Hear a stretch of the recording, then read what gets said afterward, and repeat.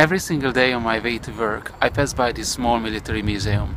It hasn't got too many things on display, but it has got something that is amazing and it blows my mind. It's this.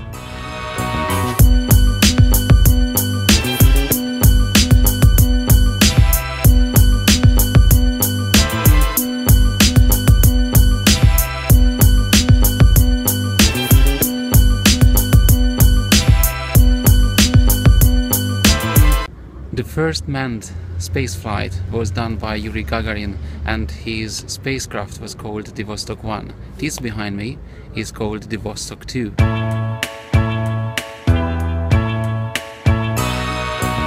So the Vostok 2 has a quite fascinating story. When the Soviets and the Americans were racing against each other in the space race, after the initial success of Yuri Gagarin, the Soviets decided to send a second man to space. This time, the guy was called Gherman Titov. He was the first man who proved that basically it's possible to live and work in space for an extended period of time.